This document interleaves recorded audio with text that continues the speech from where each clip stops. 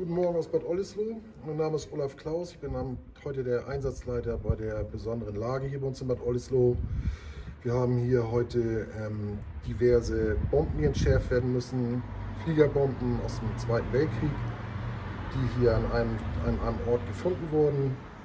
Und die werden heute ähm, entschärft. Wir haben Kräfte, ähm, die Feuerwehr, der Rettungsdienst, ähm, der Kreis mit seiner Versorgungseinheit und seiner Betreuungseinheit sowie das THW aus Bad Oldesloe. Haben zusätzlich noch Kräfte aus dem Amt Bad Oldesloe Land, die Feuerwehr Pölitz und die Feuerwehr Rümpeln mit dabei.